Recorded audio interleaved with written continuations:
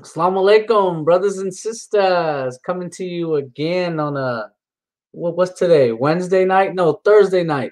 Coming to you again on Thursday night, um, December 10th, 2020. Just wanted to expose this guy, Muhammad Fiaz. He is a Qadiani politician for Saskatchewan, which is close to Ottawa, I think, in Canada. He blocked me. I, I just saw him. I add people randomly on Twitter all the time.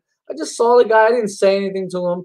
I just, uh, you know, dialogue. What about some dialogue?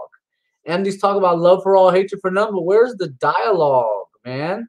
Shouldn't you guys be wanting to talk to us? See, this that's the thing. They don't want to talk to us.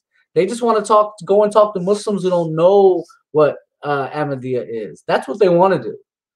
Um, they don't want to talk to people who know what it is and who've researched it. Why? Why would they ever do that?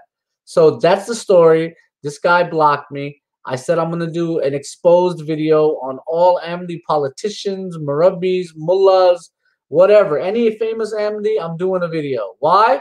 Because Razi does them. Because Damon. Because Kiki. You know, and Damon, I keep calling um Oshkosh, the mosque, no one answers. I'm gonna keep calling, and I, I think Damon's a uh, an office holder. This is how an office holder acts.